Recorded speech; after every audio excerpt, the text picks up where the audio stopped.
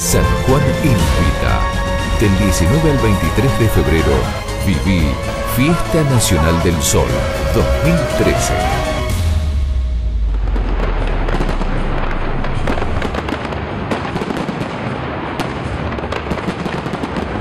www.turismo.sanjuan.gov.ar Cuesta del Viento es un dique con características únicas para la práctica del windsurf. Al noroeste de la provincia de San Juan.